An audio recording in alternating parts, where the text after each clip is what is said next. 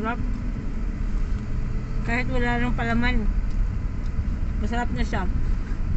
Pag naman sa harap. Patapi. Mm. Laki oh.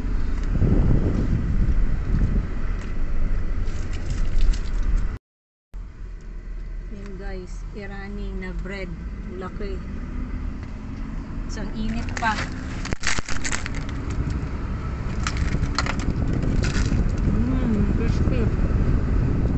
Grato sa karak.